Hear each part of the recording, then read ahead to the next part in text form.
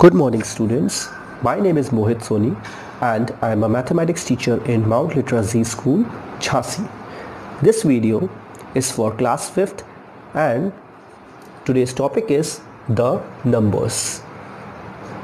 So you all heard about what are the numbers. So basically if I say what are numbers there will be 0, 1, 2, 3 and so on. So you all know what are numbers. But do you know that numbers can be divided into two parts? First is whole number whole numbers.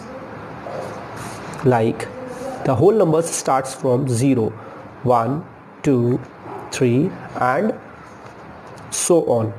But there are second number that is called the natural number natural numbers are starts from 1 2 3 4 and so on. So these are the two types of number. But these natural numbers are further divided into two parts. Like first is even numbers and second is odd numbers so when we talk about first even numbers, what are even numbers? Even numbers are the numbers which comes in the table of 2 or you can say that which are the multiple of 2 like 2, 4, 6, 8, 10 and so on. So these numbers are even numbers. Now let's talk about the odd numbers. What are the odd numbers? The odd numbers are those which do not comes in the table of 2 like 1, 3, 5, 7, 9, 11 and so on. So these numbers are odd, odd numbers. Now let's talk about the prime numbers. What are prime numbers? Prime numbers which divides by itself or by 1 like 2, 3, 5, 7, 11, 13, 17, 19, 23 and up to so on. So like this you can write the prime numbers. Now I have not written 1 over here. Why? Because 1 is not a prime number. Why 1 is not a prime number? Because it can be divided by itself that is 1 only.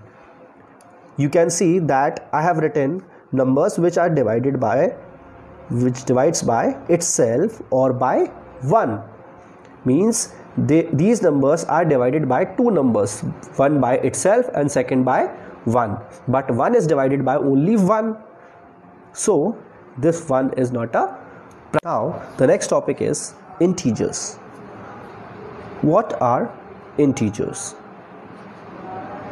So Basically, integers are the numbers which consist all positive number and all negative number including 0 or you can say that all whole numbers and all negative numbers. Like if I say 0 then 1 2 3 4 and so on.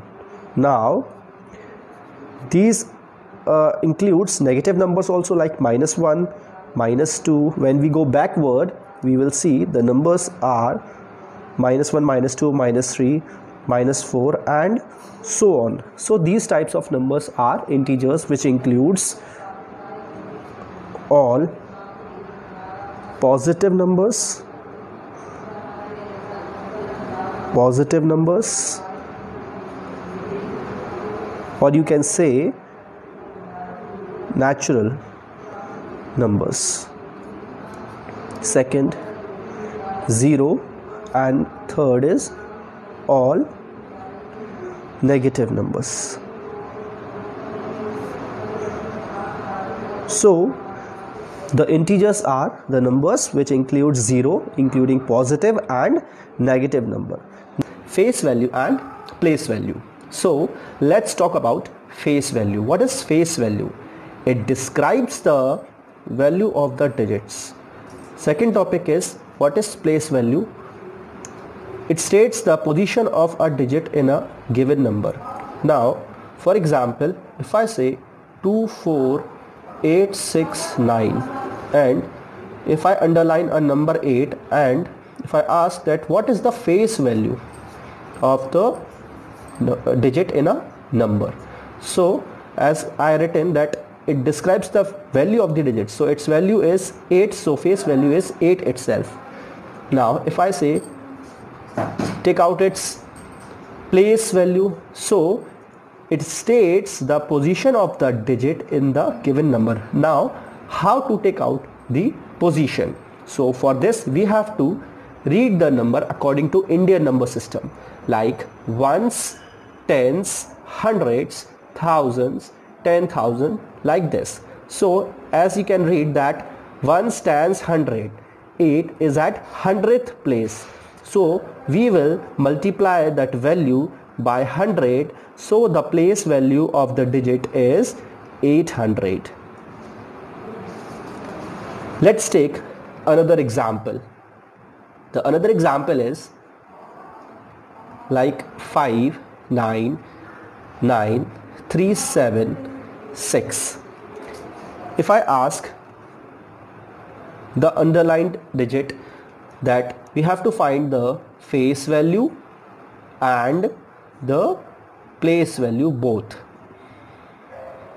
So what is the face value? It describes the value of the digit. So like 1 stands 100,000 so this we have to do if we have to find the place value but first we are taking the face value so it describes the value of the digit so as we as it is we can write the 9 as its face value the numbers we can see at the underline is its face value now place value like 1 tens hundreds, thousand and ten thousand. So 9 is coming at 10,000th place. So we will multiply the value by 10,000. So the answer will be 90,000. So this is the place value. I hope you understand it very clearly. Now let's talk about the successor and predecessor. What is successor and predecessor? So in maths, the term successor and predecessor refers to the numbers directly after or directly before a given number respectively.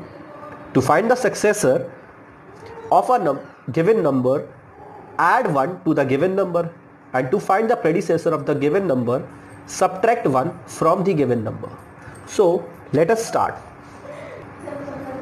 Like for example, if I write 1029 we have to find the successor of the number. What we will do? We will simply add 1 to the number and we will get the successor like 1030. This is the successor. Let's take some small number like 53. Just add 1 to the number and we will find the successor. So in short, by adding 1 to the given number we will find the successor. The successor.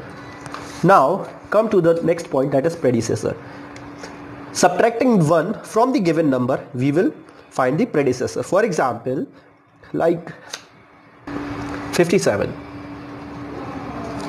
if we have to find the predecessor of 57 just subtract 1 from the number we will find its predecessor now let's take another example.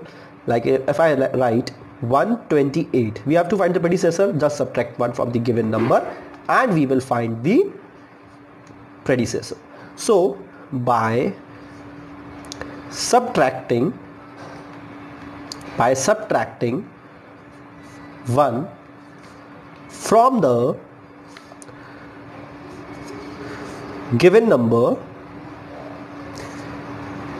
we will find the predecessor